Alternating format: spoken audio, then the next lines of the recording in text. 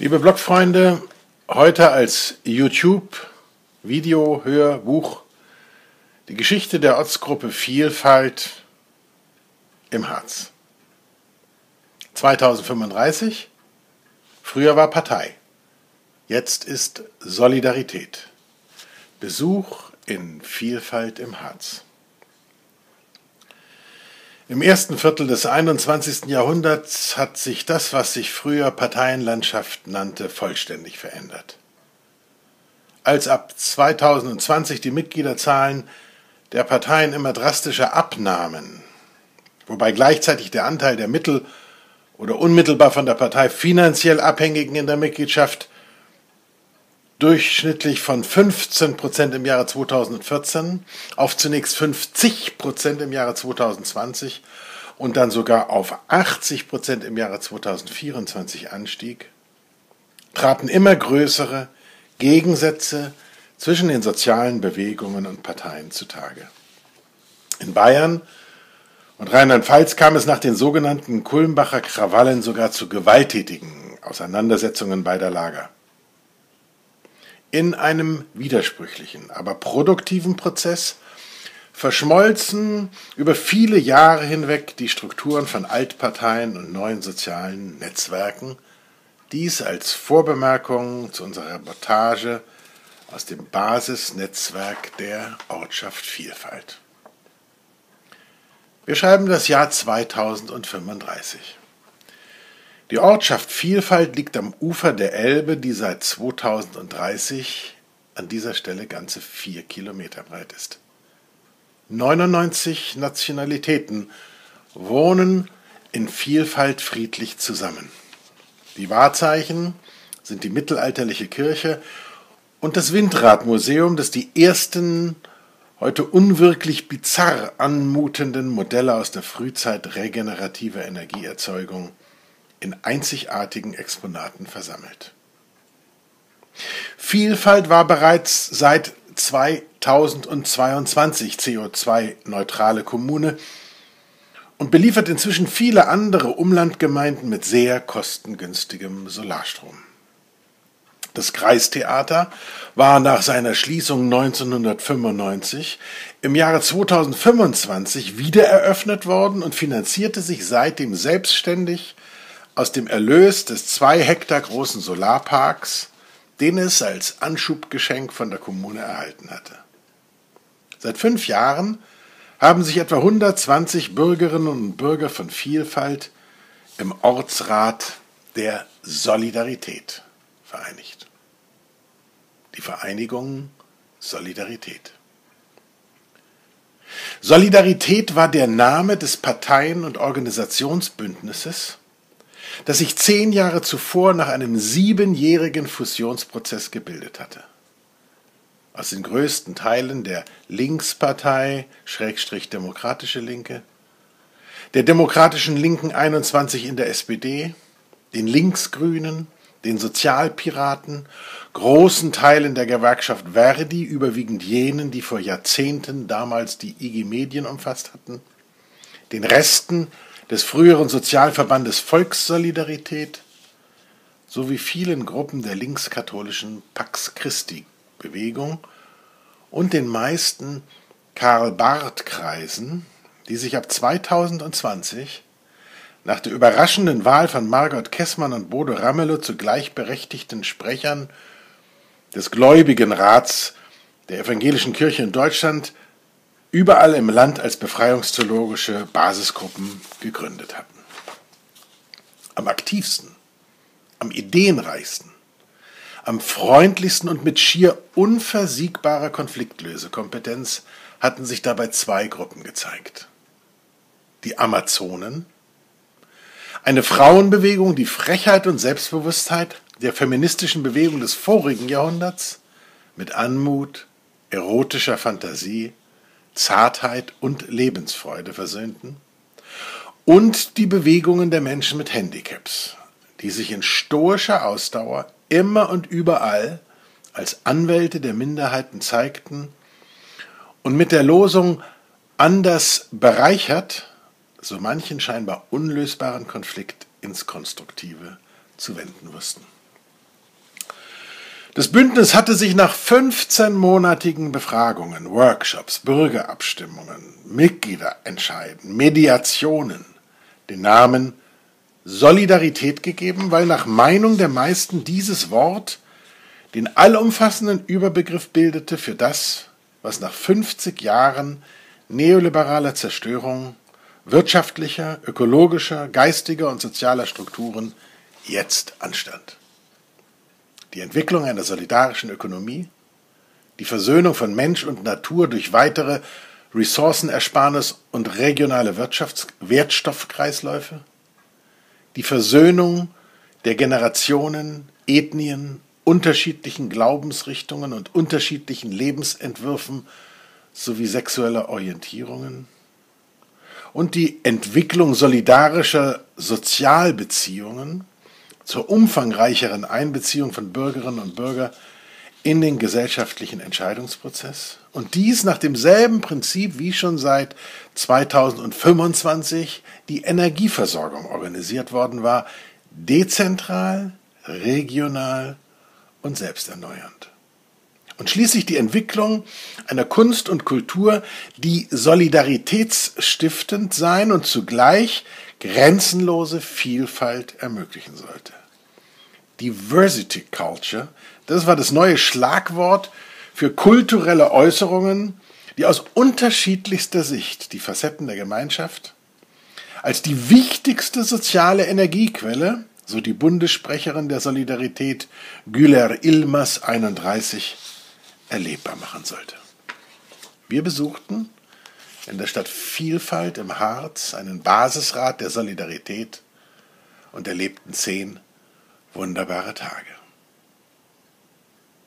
Nur noch eine Hierarchie und die vom Kopf auf die Beine gestellt. Am meisten überraschte uns die einzig verbliebene Hierarchie.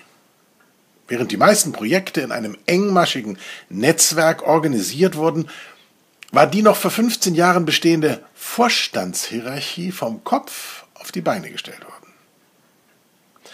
Aus der Erkenntnis heraus, dass eine solidarische, politische, kulturell und emotional aktive kommunale Basis das wichtigste Modul der solidarischen Gesellschaftsveränderung wäre, wurden neue Glieder der Gemeinschaft, die soziale Lenkungsaufgaben übernehmen wollten, zunächst zum Praktikum in den Länderrat delegiert, wo sie nur die Aufgabe der Koordination von 400 Basisräten und 75 Kreisräten in Brandenburg zu vollziehen hatten. Sobald diese Aktivisten und Aktivistinnen eine gewisse soziale und Methodenkompetenz erreicht hatten, wurden sie entsprechend ihrer Orts- und Themenwünsche in Kreisräte gewählt. Die kompetentesten aber, jene mit natürlicher Autorität, der größten Empathiefähigkeit, Methoden und Konfliktlösekompetenz, sie wurden dann den Ortsräten zur Wahl vorgeschlagen. Nur die ganz Alten erzählten von Zeiten, wo es unsinnigerweise genau umgekehrt gewesen war. Sobald jemand außergewöhnliche Fähigkeiten gezeigt hatte, war er die Stufenleiter, die damals nach oben zeigte, hinaufgereicht worden. Das ließ sich nur mit der dummen Annahme erklären, der damals noch viele Menschen anhingen, die Spitze der Hierarchien leisteten die wichtigste und schwerste Arbeit und nicht etwa die Basis, wie es nun täglich bewiesen wurde. Zirkelnetzwerke statt Hierarchie. Ansonsten aber erlebten wir die Solidarität als vollständig hierarchiefreien Raum. Natürlich verlangte dies viel menschliches Engagement, Einfallsreichtum, Kreativität und auch Zeit, um die Wünsche der Einzelnen mit den Notwendigkeiten der Gemeinschaft in Übereinklang zu bringen. Konflikte gab es wie Sand am Meer. Eine Zeit lang hatte es sogar ein Ranking gegeben, welcher Kreis die meisten Konflikte bearbeitete, war am angesehensten aber als Rankings in der allgemeinen Wertschätzung geächtet wurden, wurde auch dieses Überbleibsel der Vergangenheit abgeschafft. Die kurz nach der Jahrtausendwende die kurz nach der Jahrtausendwende entstandenen sozialen Netzwerke, die es damals ausschließlich im Internet gab, hatten die Blaupause für die Organisationsstruktur gegeben. Circles, zu Deutsch Kreise, bildeten sich, überschnitten sich, manche Menschen waren nur in einem Kreis, viele in mehreren, andere wiederum nur damit beschäftigt, die Koordination zu bewerkstelligen. Innerhalb der 400 Basis- und Ortsräte gab es kaum ein Thema, dessen sich nicht irgendwo ein Kreis annahm. Es gab Themenkreise, Sozialkreise und Wirtschaftskreise. Themenkreise waren zum Beispiel Parlamentsvorbereitungskreis, Bürgerhaushaltskreis, Querkreis, Liquid Solidarity Kreis, Frauenkreis, Youngsterkreis, Seniorenkreis, Wo kommen wir her Kreis, Theater- oder Kinokreis. Sozialkreise hatten die Aufgabe, die Entwicklung der Solidarität in allen Facetten zu unterstützen durch solche Kreise wie Konfliktlösekreis, Strukturkreis, Markttagkreis, Begleiterkreis für neue, Besucherkreis für die Betreuung von Kranken, Traurigen, Einsamen, Eigenbrötlerinnen und Eigenbrötlern oder der Koordinationskreis, der feste Feiernkreis und der Narrenkreis, von dem wir noch hören werden. Und die Wirtschaftskreise hatten die Aufgabe, die ökonomischen Probleme zu lösen, wie zum Beispiel der Sonnenkreis, der alle Einnahmequellen aus Solarenergie koordinierte, Leih- und Schenkungskreis, der die Lösung finanzieller Privatprobleme durch Beratung und Vermittlung von Schenkungen oder Mikrokrediten durch bessergestellte Ortsratsmitglieder moderierte, oder auch die Gut Leben, Gut Sparen Kreise, die immer auf der Suche waren nach Einsparpotenzial von Energie, Rohstoffen, unnötiger Verschwendung von Material oder menschlicher Kreativität. Zentrum des sozialen Lebens der Markttag. Sozialer Mittelpunkt des Ortsrates war der Markttag. Einmal im Monat traf sich Wer Lust und Zeit hatte, wer Interesse hatte, an Meinungsbildungen teilzunehmen, mindestens jedoch von jedem Zirkel ein gewählter Marketender, Marketenderin. Es trug vor, wer um Hilfe bitten wollte. Und es trug vor, wer Unterstützung anbieten konnte. Hier wurde von getaner Arbeit berichtet, neue Projekte vorgestellt, neue Menschen lernten sich kennen. Es war ein Tag der Begegnung, der Information, der Freude, der Sinnlichkeit und Unterhaltung. Mittelpunkt war das sogenannte Spaghetti-Essen. Schon längst bestand es nicht mehr aus Spaghetti, aber der Name war geblieben, der erfunden worden war, als die Aktivistinnen und Aktivisten vor Jahren merkten, dass Kommunikation ohne Befriedigung sinnlicher Genüsse nur ein Bruchteil so produktiv war, wie wenn selbstgemachte Getränke und mitgebrachte Speisen ein Gemeinschaftserlebnis vermittelten, das das Herz, den Kopf und die Sinne erst öffnete für die neuen Aufgaben der Gemeinschaft. Die Solidarität verstand die Ortsräte als Keimzelle gesellschaftlicher Veränderung. Alles, was in der Gesellschaft verändert werden könnte oder sollte, musste durch die Köpfe und Herzen der Aktivistinnen und Aktivisten der Solidarität. Deshalb wurden zum Beispiel neue Energiespartipps vorgestellt, Fragen des Bürgerhaushalts, über die sich der Themenkreis Bürgerhaushalt unsicher war, wurden genauso erörtert wie operative soziale Projekte, die kostenlose Hausaufgabenbetreuung, die Mieter, Wohn- und Wohngemeinschaftsberatung oder das Konzept der Solar-Moped-Werkstatt, mit der sowohl die Ausstattung der Gemeinde mit Solarpets sichergestellt als auch neue Jugendliche interessiert werden sollten. All diese Themen wurden gern auch mit der altmodischen, aber bewährten Methode des World Cafés moderiert. Überrascht hat uns auch der Ort des Markttages. Im Sommer auf dem größten Platz der Ortschaft am Ufer des Flusses, im Frühjahr und Herbst im Bürgerhaus, ab und zu mal in den Gärten von Mitgliedern oder, falls der Markttag in einem Kino, Theater oder Konzertsaal stattfand, vor und nach der Vorstellung in den Foyers der einschlägigen Gebäude, die nun endlich sinnvoll genutzt werden konnten. Alles war öffentlich, wenn niemand zu seinen persönlichen Fakten und Daten ein Diskretionsveto eingelegt hatte.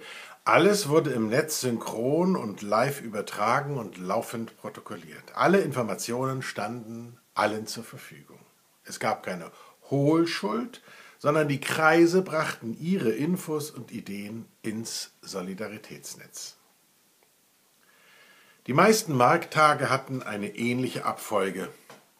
Nach der persönlichen Begrüßung jeder mit jedem, je nach Wunsch mit Handschlag, Armberührung oder Umarmung, wurden neue begrüßt, durften sich vorstellen und drei Wünsche an die Gemeinschaft formulieren. Sodann wurde mit ihnen eine Begleiterin oder ein Begleiter ausgesucht, die es ihnen in den nächsten drei Monaten erleichtern sollte, die Strukturen zu erfahren, die als Coach und Pfadfinder für alle Fragen der Neuen zur Verfügung stehen sollten. Danach trat meistens der Narr auf. In jeder Gemeinschaft gab es einen Narren und der hatte sich unglaublich bewährt. Er erzählte alle Gerüchte, Latrinen, Parolen, Hetze, Ängste, Behauptungen und Zweifel, die ihm in den letzten vier Wochen zu Ohren gekommen waren.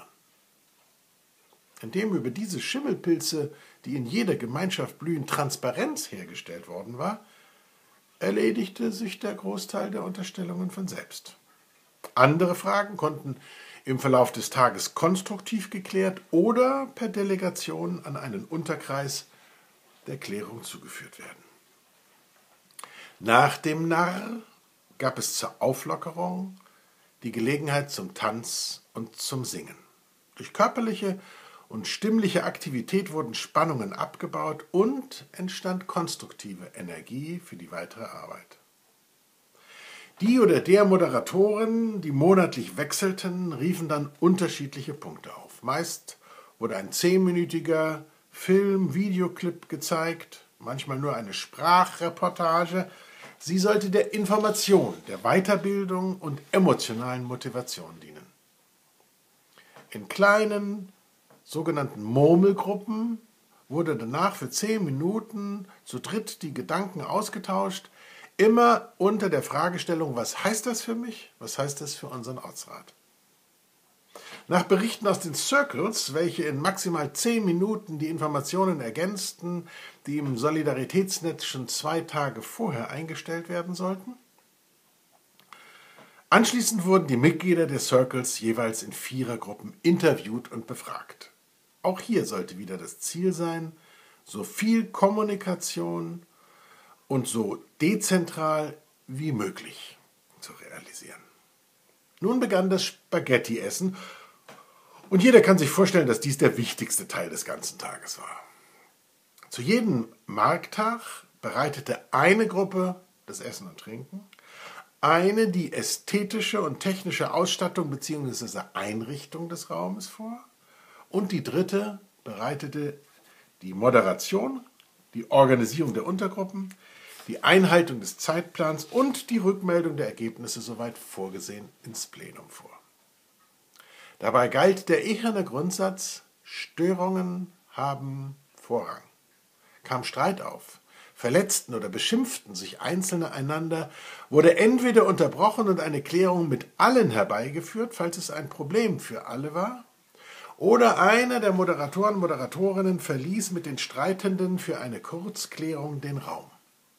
Meistens konnte die weitere Arbeit in 15 Minuten fortgesetzt werden, wenn eventuell ein Folgegespräch nach dem Markttag vereinbart wurde. Nach dem Essen schloss sich ein Spaziergang in kleinen Gruppen an, wo ebenfalls die Möglichkeit bestand, neue kennenzulernen, Erlebtes mit anderen verarbeiten zu können. Oder auch die immer beliebtere Gemeinschaftsübung zu pflegen, gemeinsames Schweigen. Das hieß, zusammen sein, ohne zu reden. Schon zehn Minuten wirkten oft Wunder, und manches kam nach dem Schweigemarsch, wie er liebevoll genannt wurde, anschließend zur Klärung, das sonst nie das Licht der Gemeinschaft erblickt hätte. Die Circles wurden von Diversity-Pflegern koordiniert. Deren Aufgabe war es, darauf zu achten, dass jedes, jedem Mitglied wenigstens eine Möglichkeit geboten wurde, sich einzubringen. Auch hier hatte sich eine gravierende Änderung vollzogen. Früher, so erzählten die Älteren, war immer gefragt worden, was muss gemacht werden. Heute wurde zunächst gefragt, wer kann was tun und wer hat Lust dazu. Die zahlenmäßige Entwicklung der Solidaritätsräte war deshalb überwältigend. Waren früher in den Parteien gerade mal 1,5 Prozent der Bevölkerung organisiert, so waren es in Brandenburg landesweit bereits 22,7 Prozent aller Menschen, die in verschiedenen Zusammenhängen der Solidarität eingebunden waren. In einigen Orten in Deutschland, in Stadtteilen von Leipzig, Hamburg oder Berlin sowie im Vogtland und im Schwarzwald waren bereits über 50 Prozent der Bevölkerung in den Zirkeln aktiv. Ungelöst war vor allem das Problem der solidarischen Produktion hochwertiger und technologisch aufwendiger Massengüter. So war die Regionalisierung der genossenschaftlichen Produktion von Solar- und Wasserstoffautos ein Fiasko geworden. Es waren nicht so sehr die finanziellen Auswirkungen, sondern vor allem Probleme bei der zersplitterten Entwicklung unterschiedlicher technischer und ästhetischer Standards in den Regionen. Immer mehr Mobilitätsräte der Orte und Kreise schlossen sich deshalb in größeren Einheiten zusammen und versuchten sich an einem komplexen System der Liquid Customer Feedback um die Wünsche von Kunden und Kundinnen, Anwohnern und Anwohnerinnen, Mitarbeiterinnen und Mitarbeitern unter einen Hut zu bekommen. Wir hatten lange gebraucht, um ein Haar in der Suppe zu finden. Aber bei genauerem Hinsehen gab es eine Unmenge von Haaren. Sie verursachten aber nicht Stress, sondern eher einen Kitzel der Herausforderung für solidarische Lösungswege. Einen Wermutstropfen gibt es noch zu berichten. Die Heimreise nach Berlin mit dem Schnellboot über den neu entstandenen Flämingsee musste ich ohne unsere Verlagsfotografin antreten. Im Zirkel Liebesschule hatte sie sich in einen Moderator und eine mitarbeitende Webdesignerin verliebt und die drei beschlossen künftig zusammenzubleiben und den Unterkreis Partnerschaftsmodelle zu gründen. Mein lieber Schwan, waren das eindrucksvolle Tage. In Vielfalt im Harz.